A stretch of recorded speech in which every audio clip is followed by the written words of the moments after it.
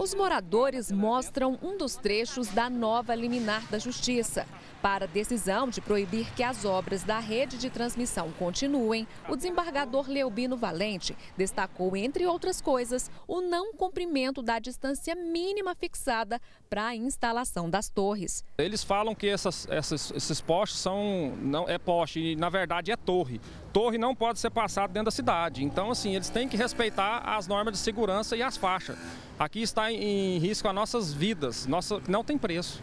O seu Henrique também está na luta para impedir a rede de transmissão desde o começo. Ele já foi funcionário da CELG e sabe dos perigos. Eu trabalhei oito anos, na, há 12 anos na CELG, operador de subestação, e é, posso só trabalhar seis horas né, na, na, na, na subestação e com luvas, capacete, óculos escuros e botas de borracha, né? E hoje nós morar aqui 24 horas debaixo de uma rede de alta tensão.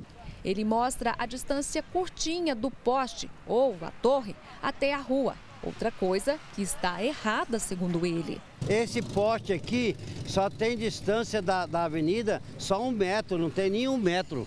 Ela tem que ter oito metros de distância aqui, né? Esses carros não poderiam passar debaixo dessa rede aqui, ó. Essa distância também preocupa a Sueli carro bater nesse poste, esse poste vai cair em cima de nossas casas. E a prova é que no anel viário, que a ilha dá umas quatro ou cinco dessa, o carro derrubou o poste.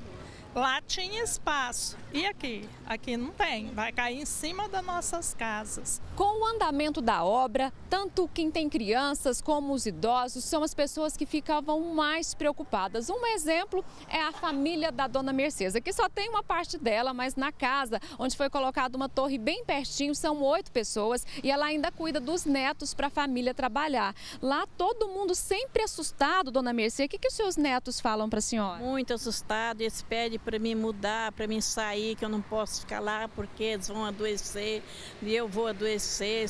Teme pela minha doença, pela, pela minha saúde, pela saúde do avô deles, né?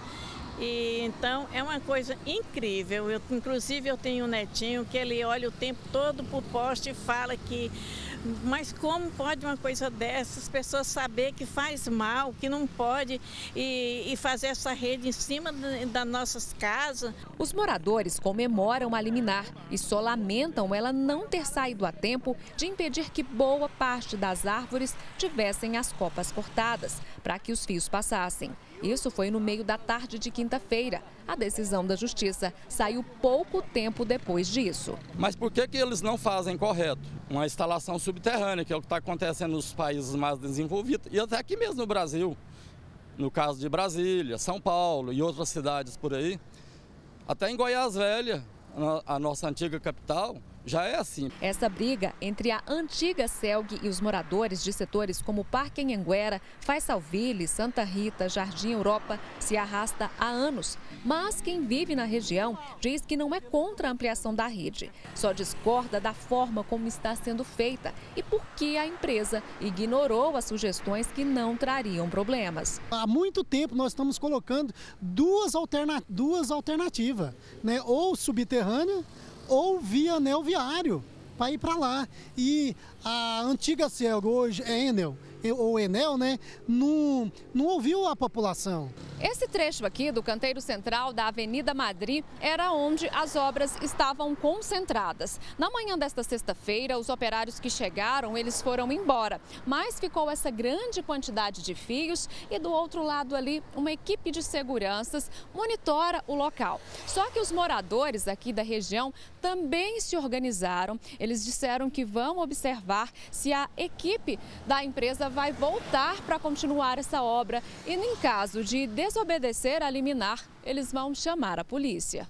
A decisão definitiva da Justiça sobre o andamento da obra deve sair esse mês. Graças a Deus parece estar sendo resolvido, né?